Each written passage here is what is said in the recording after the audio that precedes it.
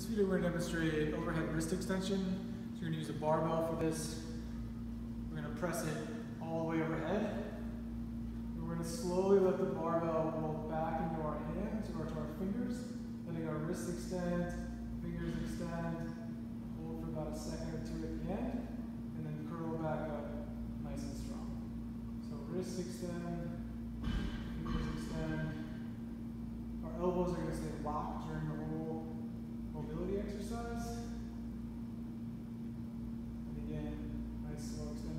fingers, going for about a two to three count.